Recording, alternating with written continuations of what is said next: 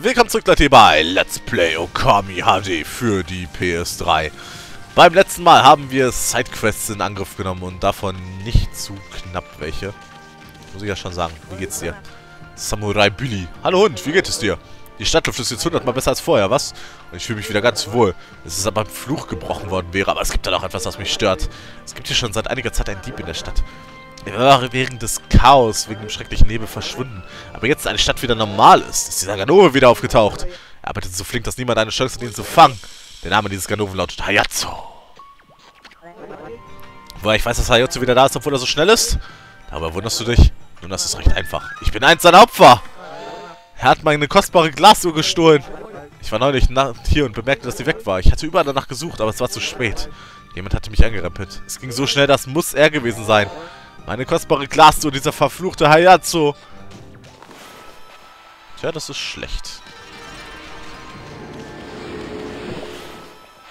Aber es waren schon mal zwei mehr. Das sind jetzt nochmal zwei mehr. Ich eigentlich drei gleichzeitig haben wollte, aber passt schon.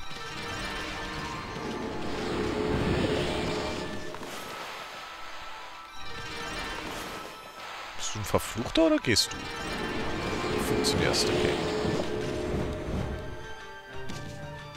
Der da hinten ist ein Verfluchter, der hier aber nicht. Der hier geht auch. Und der da drüben auch. Schon mal gut. Ich sag ja, hier in der Stadt haben wir jetzt tatsächlich eine Menge zu tun.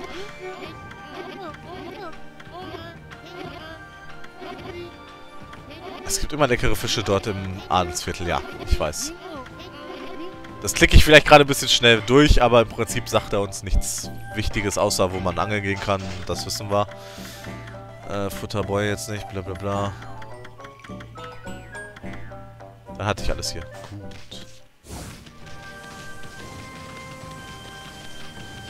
Ich wollte aber die Angel gekauft haben. Ich habe die Schade nicht mehr gesehen. Ja, ich bin wieder geschickt worden, was einzukaufen von mir. Ich wollte nur sicher gehen, dass ich alles gekauft hatte in den Läden. Und wie es aussieht, ist dem so. Das ist schon mal schön. Ähm, weiter im Text. Du bist ein verfluchtes Bäumchen. Jetzt gleich ist es eh Nacht. Was haben wir hier? Schriftrollen. Schriftrollen finde ich auch gut. Ach, mit diesem Mann hat man nur Kummer. Mein Ehemann versucht ein neues modisches Design zu erschaffen. Er ist im Nachbarzimmer so sehr darauf konzentriert, dass er keinen Finger rührt, um mir zu helfen. Dann hat auch noch dieses Gerücht alle unsere Gründen vertrieben. Vielleicht könntest du mal mit ihm reden, was? Kein Problem. Ich rede ständig mit Leuten. Ich weiß auch nicht, ich habe da so einen Hang zu. Das ist ein richtiges Puzzle. Oh, hallo, weißes Hündchen. Willst du einen alten Grieskram Gesellschaft leisten? Ich betreibe hier dieses Kimono-Geschäft, aber ich habe das Gefühl, ich muss mal wieder frischen Wind hier reinbringen. Ich bin es langsam leid, immer dieselben Farben zu sehen. Ich war gerade dabei, mir ein neues, aufregendes Design auszudenken. Kimono-Designer Herr Schick. Das Problem ist nur, dass es schwierig ist. Äh, schwieriger ist, als ich gehofft hatte. Ich bin so verzweifelt, dass ich sogar dich um Hilfe bitten möchte, Hündchen.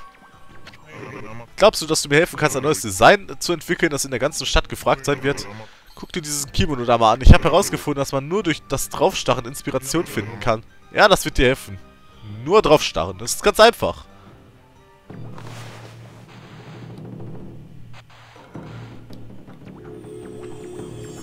Ah, ein sexy Cave für Kommi. Was gütiger Himmel. Wie ist dieses Design da von ganz alleine erschienen? Vielleicht hat meine Inspiration mit dem Kimono endlich gewirkt.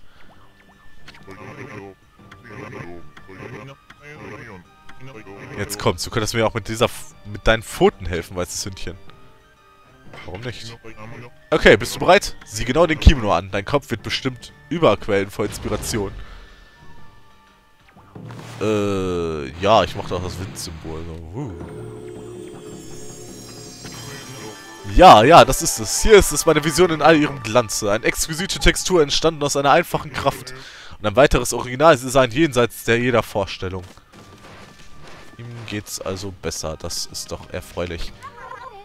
Dieses Gerücht war ein harter Schlag für unser Geschäft. Das kann ich dir aber sagen. Hast du die Weidenbäume draußen vor dem Geschäft gesehen? Die Leute sagen, dass nachts dort ein seltsamer Geist erscheint. Aber er scheint niemanden zu schaden. Vielleicht ist es nur die Faulheit meines Mannes, die schlecht für das Geschäft ist. Vielleicht könntest du mal mit ihm reden, was? Mäh. Ich habe mit ihm geredet, ich habe ihm zwei Designs geschenkt. Ich bin nun mal ein kleiner Designer. Das wusste ich schon immer. Okay, nein, nicht wirklich, aber... Also weder, dass ich ein Designer bin, noch, dass ich wusste, dass ich ein Designer bin. Äh, weil weder das eine noch das andere zutrifft. Ich habe übrigens keinen Sinn für Mode. Ich ziehe einfach an, was gerade in meinem Schrank liegt und gut ist.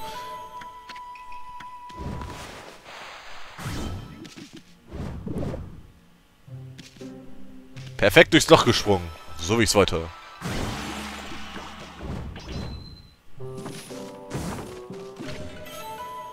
Ich meine nur.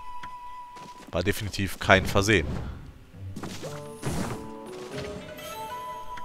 Bin ich hier in so einen Lagerraum eingebrochen? Bin ich ein böses Hündchen gewesen? Sieht ja schwer danach aus, ne?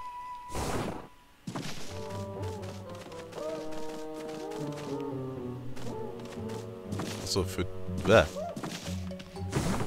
Ich wollte gerade sagen, für den einen Schatz muss ich da hinten rein, aber...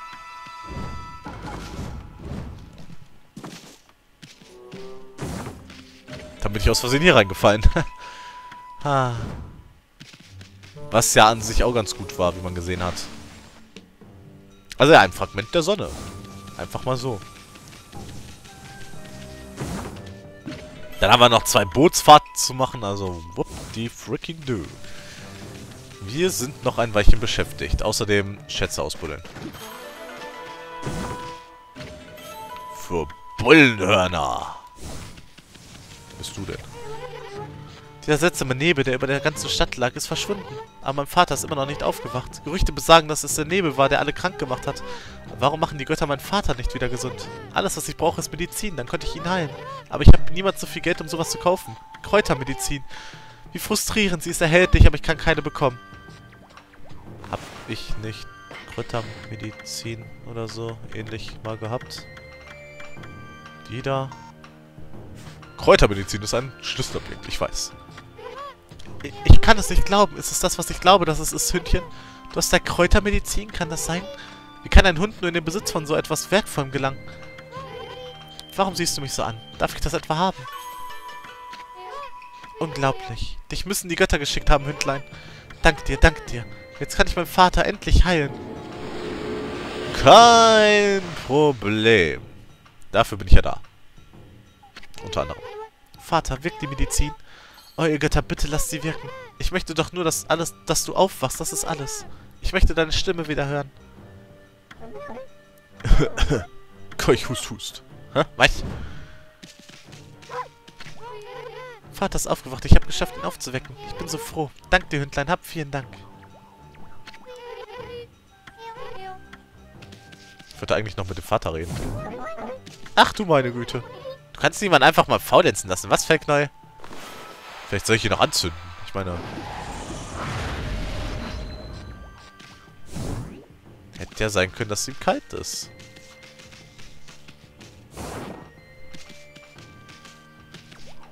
Aber augenscheinlich... Keuchblüten, Kirschblüten. Großväterchen, bist du wach? Puh, was für eine Erleichterung. Oh, die Kirschblüten der Stadt Zayan stehen in voller Blüte. Bevor ich sterbe, möchte ich sie noch einmal sehen.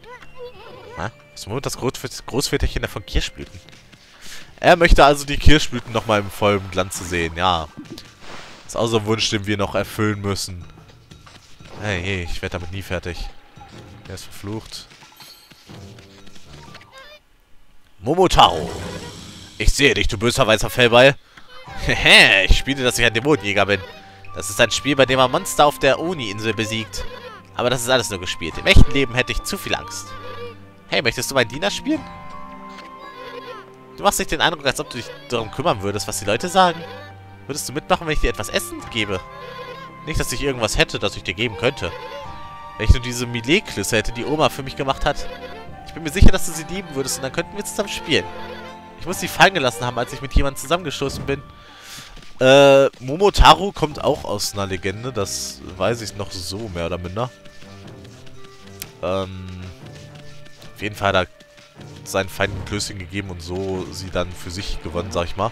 Äh, was habe ich getan? Ich habe mein Gedächtnis komplett verloren, seit die verfluchte Zone erschien.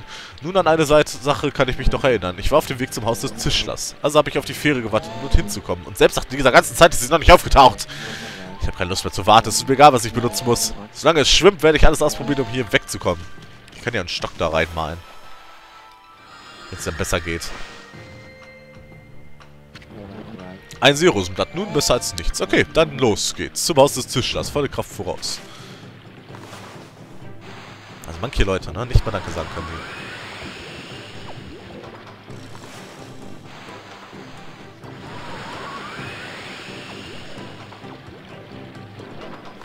Ah, nicht in den Wirbel reingeknallt. Hahaha.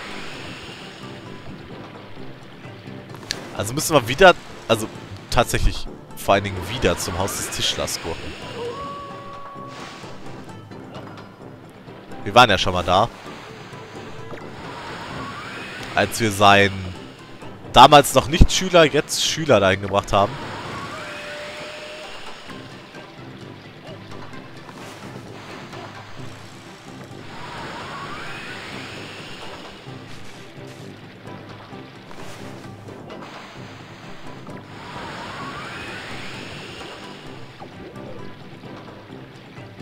So, wenn sich jetzt genau mein zweiter Krug nämlich füllt, dann sollte ich genügend Energie haben, um ihn jetzt ans Ziel zu bringen.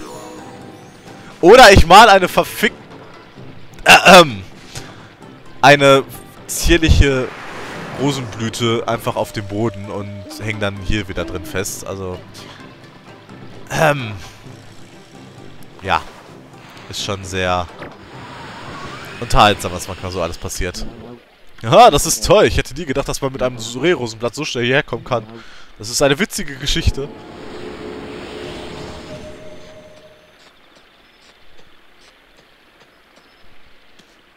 Nebenbei bemerkt, es freut die immer, dass die nicht bezahlen müssen und trotzdem bezahlen sie. Also, was tue ich eigentlich gerade hier? Äh, achso. 400. Okay, 400. Herr Bambus ist jetzt gerade am Schlafen. Das ist in Ordnung.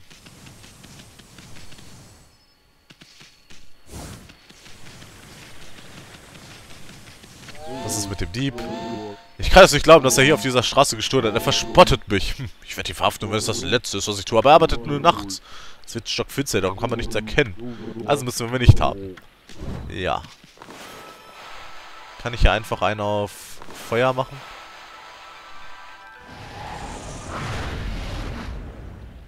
Ja, nein, kann ich nicht. Wäre ja wohl zu sinnvoll. Oh, das steht noch ein Baum, den ich die ganze Zeit nicht gesehen habe. Oh, das ist ein verfluchter Baum. Hab nichts gesagt. Die ist aber auch nicht an. Das ist aber ein großer Kohlebecken. Sie müssen damit die Straße nachts beleuchten, aber jetzt ist es aus. Merkwürdig. Du bist auch verflucht? Du bist auch verflucht. Gut. Also prinzipiell schlecht, aber soll mir dann egal sein. Du bist auch ein Verfluchter, ne? Siehst zumindest so aus.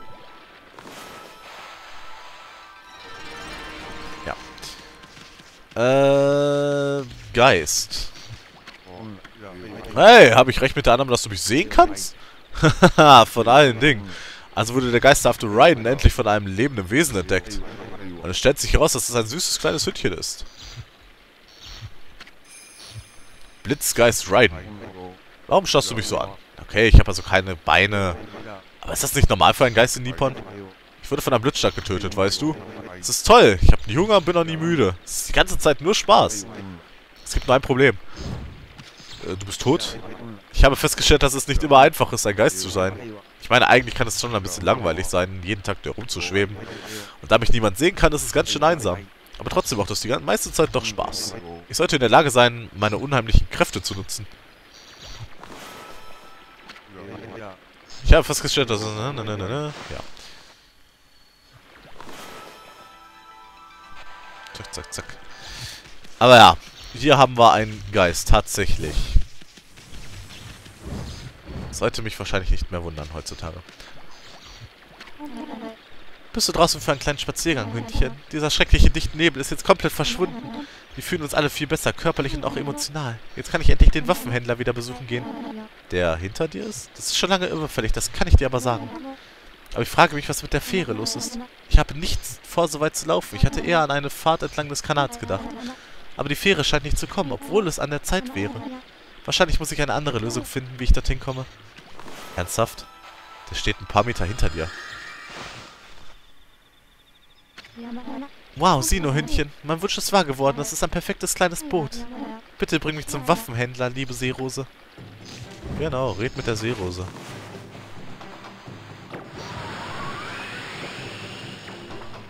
Red mit der Seerose. Also mal ganz ehrlich, dass sie nicht zum Waffenhändler rennen will, das ist schon, äh, wie sagt man, ein starkes Stück. Weil der wirklich prinzipiell da vorne ist und so, aber naja. Es hat hier so eine Art rechts abbiegen, aber...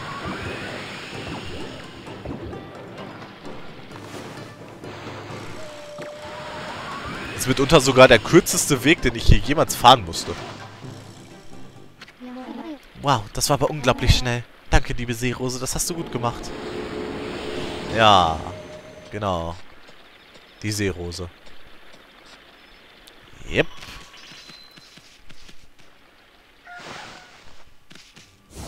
Das ist einfach, ähm, ich weiß auch nicht.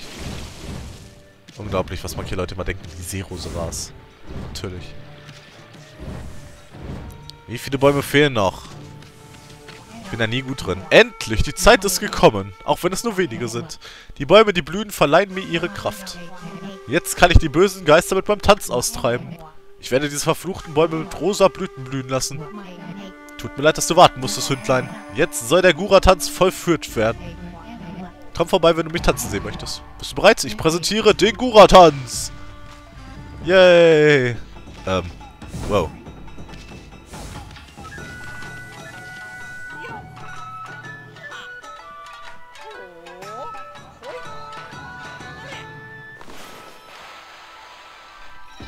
Also muss ich wieder die Hauptarbeit durchführen. Okay. Oh, holy crap.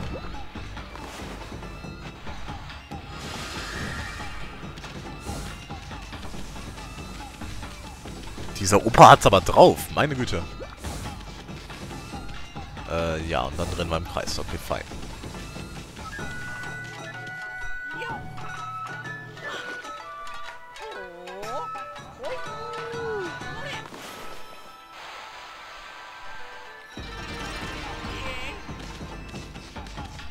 Warum kriege ich nicht mal einen Glauben davon? Immer so gefragt. Ich meine, habe ich vorher auch gekriegt. Deswegen ist das jetzt gerade ein bisschen traurig für mich.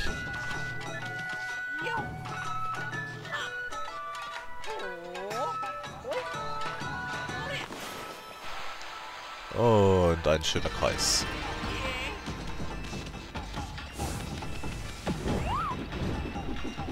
Jetzt steht die da schon wieder. Jetzt muss ich die Bootsfahrt nochmal machen? Ich weiß gar nicht, ob man die unendlich mal machen muss. Ich glaube, ich meine, einmal reicht, wenn man die volle Punktzahl erreicht hat, aber...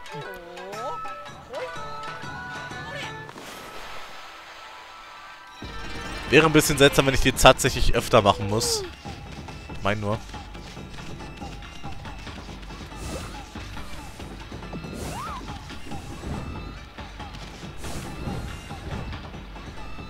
Oh, Schatzruhe. Haben wir. Bin sofort da, Opa. Bin sofort da. Äh. Gibt dem Großen und Ganzen eh nur noch den Baum hier. Deswegen war mir klar, wo er hin will, zum Glück.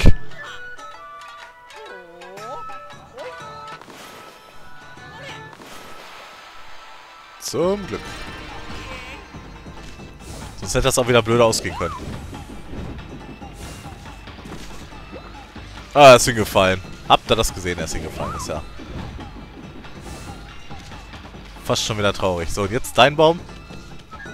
Jawoll.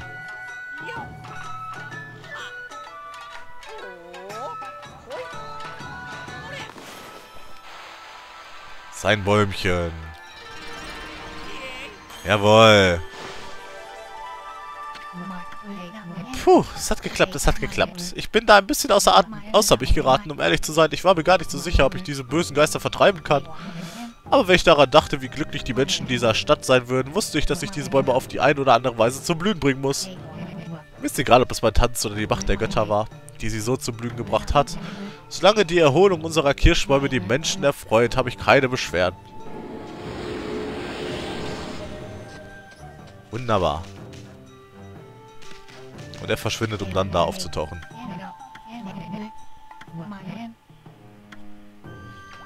Okay. Ähm... Jetzt muss ich nur noch mal den Ort finden, aber das war, glaube ich, da weiter hinten. Was ist eigentlich mit dir? Mal macht so einen Spaß. Wie findest du das Händchen? Gefällt dir mein Bild? Hä? Oh nein, ich habe keine Holzkohle mehr. Dabei hatte ich so viel Spaß. Ich möchte ein weiteres Bild machen. Ich will mehr Holzkohle. Ah, ist das etwa Holzkohle, die du da hast, Hündchen? Gib sie mir, gib sie mir, gib mir die Holzkohle. Ja, bitte sehr. Ja, dank dir, Hündchen. Jetzt kann ich ein weiteres Bild malen. Du kommst doch wieder und siehst es dir an, oder? Ähm, ja. Bestimmt. Äh, bitte, bitte, bitte. Wo war dieses Inn mit dem kranken Mann? Oh, du hast mein Zeichen erfunden. Wunderschön. Das war das, das war das. Hier war das. Immerhin blüht die Kirschbäume wieder. Hey, Großväterchen, Großväterchen, wach auf! Sie stehen in voller Blüte. Es ist ein perfekter Tag, um sie zu genießen. Geh nicht auf das Licht zu. Wenn du nicht aufpasst, dann werde ich dir ein Ding verpassen.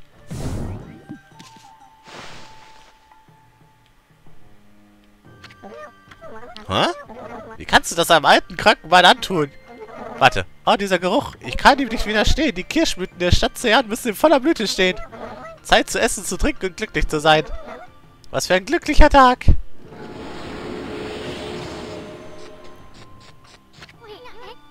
Er ist weg. Was soll war denn das? Ah ja, das hätte ich ja beinahe vergessen. Mein Vater hat eine andere Krankheit, die nicht geheilt werden kann. Mein Vater verehrt das Fest der Kirschblüten. Aber er regt sich immer zu sehr auf und verletzt sich jedes Jahr am Rücken.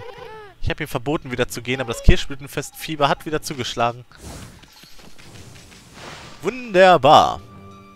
Damit habe ich doch schon mal eine Menge der Sidequests hier erledigt. Er sieht auch wieder besser aus.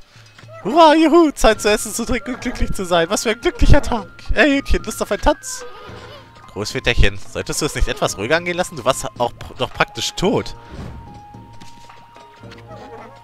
Hurra, juhu, Zeit zu essen, zu trinken und glücklich zu sein. Was für ein glücklicher Tag. Yay. Vielleicht war es ein Feind, das ihn beinahe getötet hat. Das ist eine Krankheit, für die es keine Heilung gibt. Ne, das ist wohl wahr. Ähm... Joa. Ich denke mal, ich werde fürs nächste Mal schon mal ein paar Dämonenzähne sammeln. Ich werde mal eben gucken. War das nicht so irgendwie... Nee, noch nicht. Ich kenne mich mit Mode aus. Ich weiß immer, welches Design der nächste große Hit wird. Hm. Ich frage mich, was es diesmal werden wird. Ein Pentagramm. Äh. Stimmt ja. Das einzig Ärgerliche ist, wir müssen jetzt also ein Pentagramm malen. Das ist jetzt nicht das Ärgerliche. Das Ärgerliche ist, um das zu machen, müssen wir immer durch, quer durch die Stadt schießen. Aber auch das ist so eine kleine Sidequest, die wir dann beim nächsten Mal vervollständigen werden. Wobei ich dann noch eine schöne Anekdote dann erzählen kann aus meinem damaligen PS2-Spiel davon, als es mir auf die Nerven ging. Ähm... Aber ja.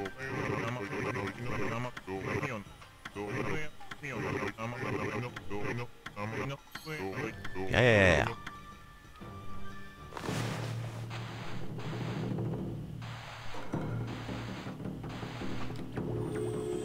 Ich hoffe, das ist so einigermaßen ausreichend.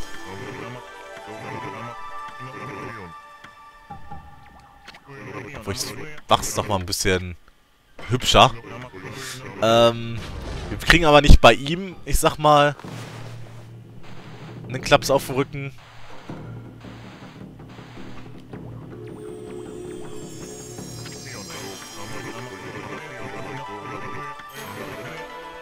Ah. Er hat gesagt, dieses Ding könnte etwas bewirken. Das ist der Text, den wir im Prinzip haben wollen.